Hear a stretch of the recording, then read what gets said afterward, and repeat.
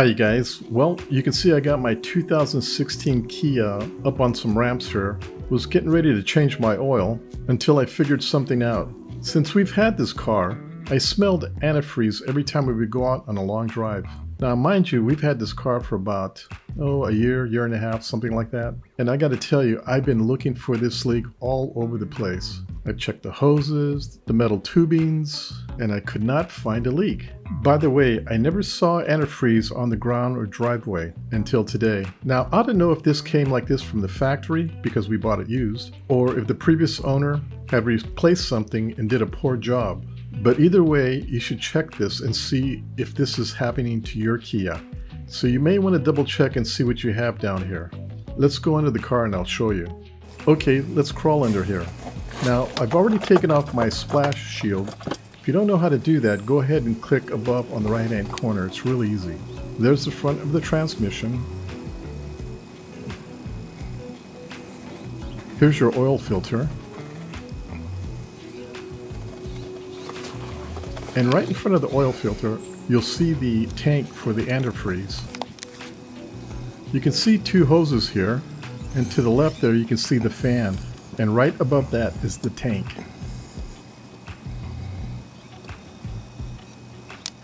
If you look at the very bottom, you'll see a hose. It goes right into the bottom of the tank. As you can see, I've got a lot of wet antifreeze. That's where it was leaking. Now, as I was looking at it, I was wondering why it's leaking. I was wondering if the tank was cracked or maybe my radiator's cracked and leaking, but the answer was right in front of my face. For some reason, there's no clamp on this hose.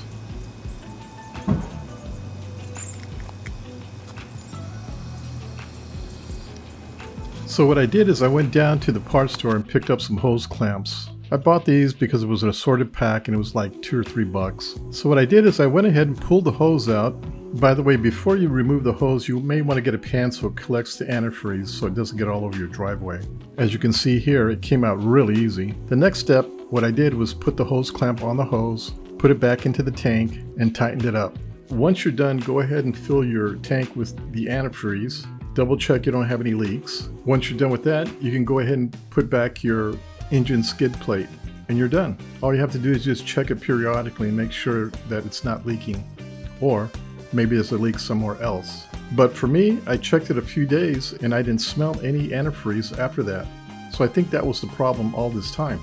I gotta tell you, that's a load off my mind because every time I went for a drive or for a long drive, I was always thinking that there's something gonna happen one day. If that hose would have came out, all the antifreeze would have came out and I would have been stuck at BFE. Anyway, okay, well I hope you enjoyed this video and I hope it was very informative. Please check out my other how-to videos. Oh, and check out my new website. There's new items being put in there every day. Don't forget to like and subscribe, and of course, hit the bell. Until then, we'll see you at my next video. Bye!